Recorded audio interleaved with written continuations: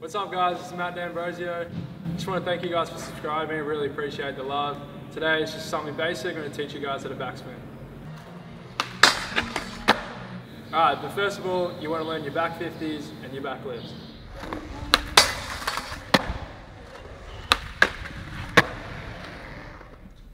Oh shit, spilled some solo on me, damn. Oh, damn, what's up? Hey, still learn how to backsmith? Sick, I'll teach you that shit.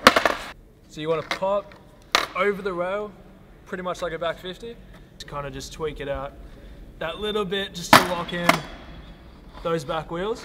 So now you're locked in, what I like to do is slide my front foot up more to this region so that way my feet are close together, which pretty much makes the board just dip down.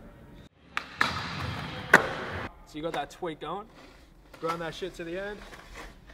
Once you get to about here, you want to put a little bit more weight on your back foot to lift it up. Then you're able to slide your feet back to position. And that shit on the bolts, roll away like a fresh motherfucker.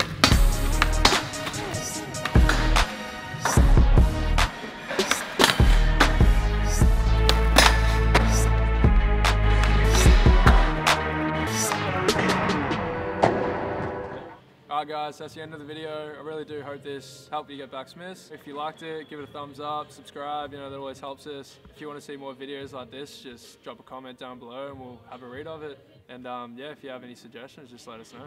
Alright, see you in the next one.